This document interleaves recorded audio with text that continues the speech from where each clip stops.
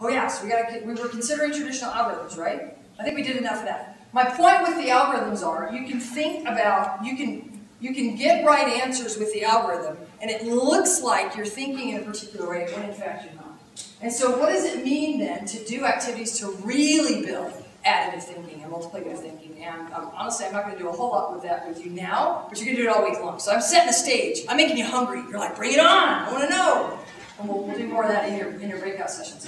What I'd like you to do is to look at a student using the traditional algorithm. Um, this uh, gal's name is Michaela. I think if I hit this, it's not going to play right. Yes. So this is Michaela. Michaela's a seventh grade student. A little bit of history. She had struggled in math up fourth grade. Her mom knew Kim, who raised her hand earlier. Remember I worked with Kim early, early, early on? And Kim had Michaela in fifth grade. Michaela struggled, but could. Michaela could do, struggled, struggled. It was, it was a, wow, you worked hard that year. Yes? But could do. Michaela came out of fifth grade. I can do math. I thought I could. I can do math. This is great. Went on to middle school. Kim lost track of her. Mom calls Kim up in the middle of seventh grade and says, Yeah, not doing so well in seventh grade. Would you tutor Michaela? Kim says, I'm a fifth grade teacher. I don't do seventh grade.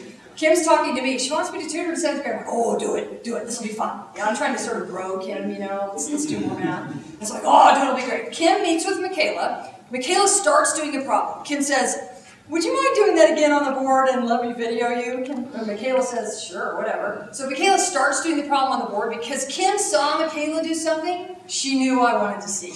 So she's like, oh, I'm going to record this. I'm so glad she recorded it. So what I'd like you to do is watch Michaela solving, let's see, 0.26 times 24. Can you all just think about that problem for a second? You don't have to do it. You can pull out your cell phone calculator if you want to, but can, can you get some sense of the, the answer? To think for a second. It would take me far longer than it's me to get a sense of it. Don't tell the person next to you yet. Not yet. yet. So some sense of the answer, you know, is it closer to a half? Is it closer to negative 5? Is it closer to 100? Is it closer to 3,000? Just kind of some, some idea, some reasonable idea of what that would be. Because, because. They're sharing strategies because, it's all right, this is great.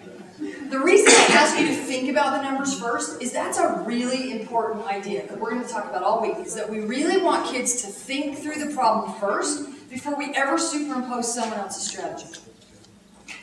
Now think about the way we were taught. We were taught exactly the opposite. Here is someone else's strategy. Now show me my work. Right? Here is the algorithm, now do it. That was the way we were taught. I'm going to say, kids think about the problem, they work with it, they mess with it first, and then we get to more sophisticated strategies. Then I show you the way somebody else thought about it. But not, not before you mess with it. So everybody kind of has some idea of what this is, yeah? All right, so ready? Here's Michaela. It's going to be kind of quiet at first, so I'll actually probably talk through some of them. Can you hear Michaela? Let me see if I turn it on. She's not saying a lot right at the first. Hey, when you're multiplying fractions, do you move the decimal or line them up? When you're multiplying decimals, do you move the decimal or do you line them up? Well, if you're using the algorithm, you move the decimal. What's Michaela doing?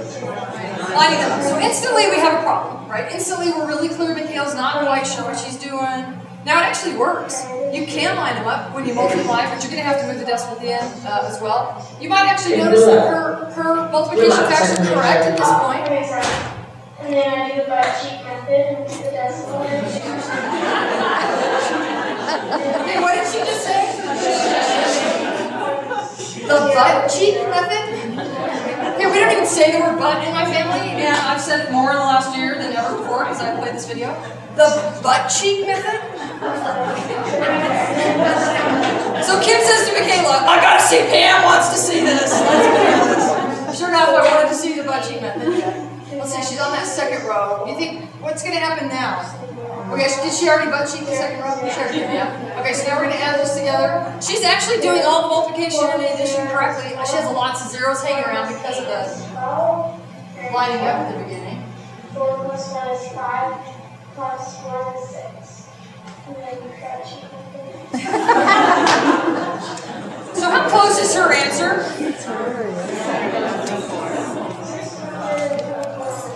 Yeah, the decimal's not in the right spot, like at all.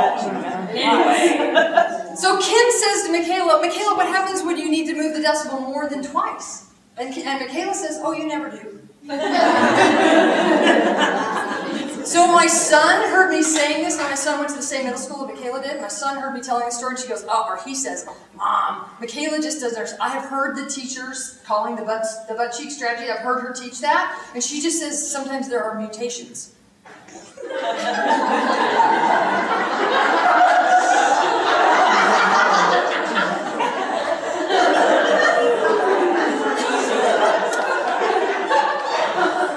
Here I give to you math is memorizing.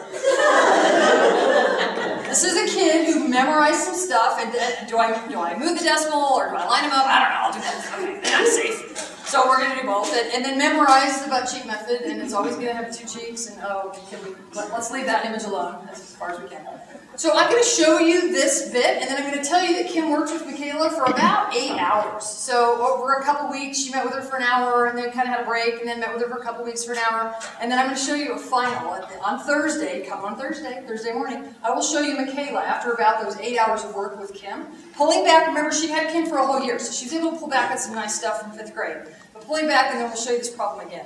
You might think about, I know you guys had a great strategy over here that you were, you were all, I, I would do this way. But you might think about that problem between now and Thursday. Use the work that you do in your sessions. The kindergarten teacher just went, we're going to do that in our sessions? Not so much. But we are going to make sure you guys are thinking, you're going to be thinking additively by the end of, of Thursday for sure. So how could we? How could we reason through a problem like that? I would love to have you come with your ideas of how you can actually think through that problem rather than do something memorized.